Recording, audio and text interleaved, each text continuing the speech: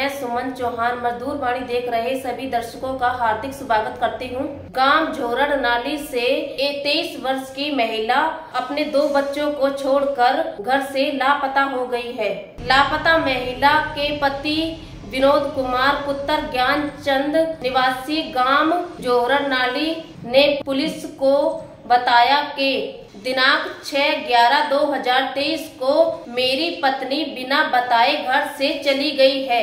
मैंने उसकी सब जगह तलाश की, मगर उसका कोई अता पता नहीं चला। मेरी पत्नी का कद पाँच फुट है और रंग गेहुआ है। मेरी पत्नी ने पैरों में चप्पल, पीले रंग की पजामी और हरे रंग का कुर्ता पहना हुआ है। मेरी पत्नी घर से निकलते वक्त छह हज़ार रूपए नगद और सोने चांदी के जेवरात अपने सभी ज़रूरी कागजात साथ लेकर गई है। लापता महिला के पति का कहना है कि मेरे बच्चों को कार रो रो कर बुरा हाल हो रहा है। सदर थाना सिरसा की पुलिस ने इस संबंध में आईपीसी की धारा 346 के तहत मुकदमा दर्ज करके आगे की छानबीन शुरू कर दी है। अगर आप हमें फेसबुक पर देख रहे हैं तो हमारे फेसबुक पेज को फॉलो करें। अगर आप हमें यूट्यूब पर देख रहे हैं तो हमारे चैनल को सब्सक्राइब करें।